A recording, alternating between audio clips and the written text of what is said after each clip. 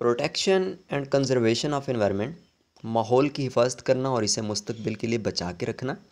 Before industrialisation, life was very simple and environment was neat and clean. But industrialisation has help the mankind to raise the standard of living. Industrialisation ने इंसान का म्यार ज़िंदगी बेहतर किया है। At the same time destroyed our environment लेकिन इसने हमारे माहौल को भी बेतहाशा नुकसान पहुँचाया है। Tons of industrial waste and effluents in solid liquid और gas form are being injected into the environment by industries और ये इंडस्ट्रियाँ टन्स के हिसाब से वेस्ट मटेरियल इफ्लुएंट्स जिसे कहते हैं सॉलिड फार्म में लिक्विड फार्म में या गैस फार्म में माहौल में खारिज कर रही हैं।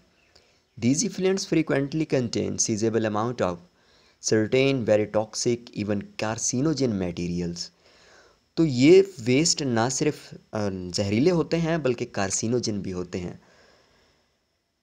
Heavy metals like lead from automobiles chromium from tanneries are playing havoc rule to human health तो हैवी मेटल जैसे, जैसा कि लेड जो कि ऑटोमोबाइल से निकलता है, और इसके अलावा क्रोमियम जो कि टैनरीज से निकलता है, इंसानी ज़िंदगी को बेतहाशा नुकसान पहुँचा चुका है। दिस प्रॉब्लम ये मसला therefore need to be addressed इसके बारे में आगाही देनी चाहिए, इसको कंट्रोल करना चाहिए। Else it would be soon out of control लेकिन जल्द ही ये कंट्रोल से बाहर होगा।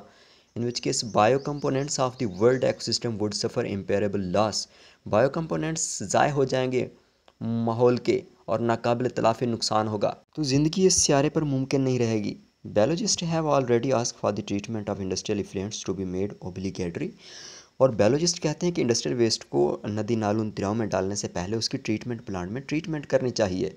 नंबर दो बायो बायोरेमेंडेशन रिमूवल और डिग्रेडेशन ऑफ़ इन्वायरमेंटल पोल्यूटेंट्स और toxic material by living organism ज़िंदा जानदारों को इस्तेमाल करते हुए जहरीले मादों को ख़त्म करना, उनको डिग्रेड करना या अब्ज़ार्ब करना। For example algae have been found to absorb heavy metals Biologists are also working out the list of endangered species of plants and animals which if not protected would soon extinct तो biologist ने ऐसे जानवरों और पौधों की लिस्टें बनाई हैं, जिनकी अगर हमने हिफाजत ना की तो वो बहुत जल्द ख़त्म हो जाएँगे। Automobiles exhaust are designed so that filter lead oxide automobile exhaust ऐसे बनाए गए हैं जो कि लेड एक्साइड को फ़िल्टर करते हैं, लेकिन हम वो एग्जॉस्ट उतार कर रख देते हैं और उसकी जगह ये आम, सिंपल पाइप वाला जो है ना हम इस्तेमाल करते हैं, ये भी बहुत ख़तरनाक है। और हमें नसीहत की जाती है कि आप लेड फ्री पेट्रोल यूज़ करें। यूज़ लेड फ्री पेट्रोल ऐसा पेट्रोल इस्तेमाल करें जिसकी प्रॉपर रिफाइनिंग की गई हो, ना कि उसमें टेट्राइथाइल लेड इस्तेमाल किया गया हो।